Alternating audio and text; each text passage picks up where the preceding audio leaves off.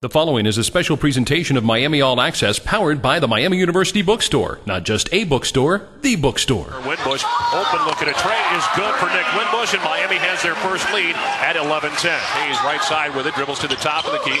He'll fire the 19 footer, doesn't get it. Mavunga, though, gets the offensive rebound left corner. He'll fire a three and bury it from the left corner. Five in the game for Julian, and we're tied at 14. Ballard left side with the basketball. Out top, it goes to Mavunga. He'll throw it right side to Hayes.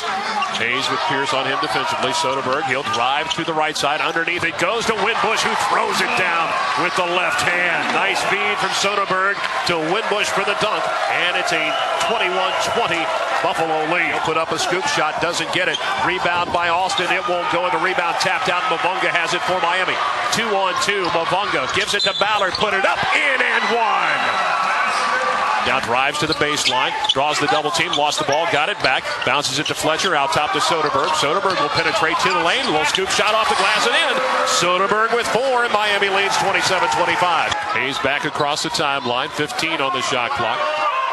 Fletch will set a screen for him, flat screen to the right side. Hayes dribbles to the wing. Gives it out top to Mavunga. Mavunga fakes, drives past Alston, puts up the scoop and scores. Seven in the game for Mavunga, and it's 31-27 Miami. 14 in the game, and it's 38-33, and a steal by Miami as Haddix comes down with a basketball, dribbles to the right side. Gives it out top to Soderberg. Soderberg dribbles top the key, backdoor cut to Kenny Hayes, off the glass and in. Hayes with eight in the game. Miami's largest lead is seven at 40-33. Hayes works right side with a basketball. Gets a Mavunga screen, doesn't use it. Gets it back to Mavunga in the right corner. Face the three. Drives past Watt. Beats to Soderberg. Left wing. He'll fire and hit a three. Kramer Soderberg with seven in the game, and it's 45-35 Miami. 51-40, Miami's largest lead. Bets the other way as the ball stripped away, and Ballard two on one the other way. Gets Kenny Hayes. Hayes back to Ballard for the reverse slam. Whoa.